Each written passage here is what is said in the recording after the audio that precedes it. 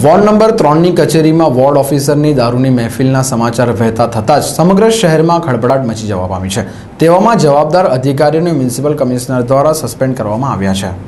વડોદરા શહેરના પૂર્વ વિસ્તારમાં આવેલ વોર્ડ નંબર ત્રણની કચેરીએ શનિવારે રાત્રે સેવા સેતુનો કાર્યક્રમ પૂરો થયા બાદ વોર્ડ નંબર ત્રણની કચેરીની એસી કેબિનમાં માનીતા અધિકારીઓ સાથે ખુલ્લેઆમ દારૂની મહેફિલ માણતા મીડિયાના કેમેરામાં ઝડપાઈ ગયા હતા. જેને લઈ સમગ્ર શહેરમાં ચકચાર મચી જવા પામી છે. સમગ્ર ઘટનામાં મ્યુનિસિપલ કમિશનર ગતરોજ અચાનક એક્શનમાં આવ્યા હતા અને દોષિત વોર્ડ ઓફિસર સહિત દારૂની મહેફિલમાં જોડાયેલ તમામ અધિકારીઓને સસ્પેન્ડ કરી દીધા છે. તેમ છતાં શહેર પોલીસ દ્વારા અધિકારીઓ પર કોઈ ફરિયાદ નોંધાવવામાં નહીં આવતા સમગ્ર શહેરમાં ચર્ચાનો વિષય બનવા પામ્યો છે.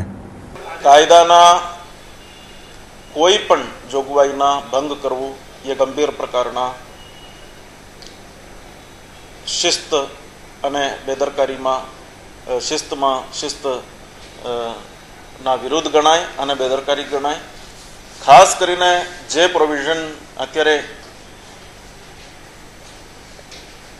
પ્રોહિબિશનના સંદર્ભમાં રાજ્ય સરકાર જેટલા ગંભીરતાથી વિચારે છે, આ પ્રોહિબિશનના સંદર્ભમાં રાજ્ય સરકારે જે પ્રકારના કાયદામાં સુધારો પણ લાવ્યો છે, એટલે રાજ્ય સરકારના નીતિ અને નિયત બહુ સ્પષ્ટ છે કે આ વિષયમાં અમે ઝીરો ટોલરન્સ કરવા માંગીએ છીએ, zero tolerance. Benefit of doubt પણ કોઈને નથી આપવા માંગતા. એટલે એક બાજુ ડિપાર્ટમેન્ટલી અમે સસ્પેન્ડ કરવાના કાર્યવાહી અને ડિપાર્ટમેન્ટલ એન્ક્વાયરી ચાલુ કરવાના કાર્યવાહી કરી છે અને સાથે સાથે પોલીસ કમિશનરને લિખિતમાં રિક્વેસ્ટ કરી છે એમાં જે પણ કાર્યવાહી એફઆઈઆર સહિતની કાર્યવાહી કરવી હોય તો કરવા માટેના વિનંતી અમે પોલીસ કમિશનર શ્રીને કરી છે.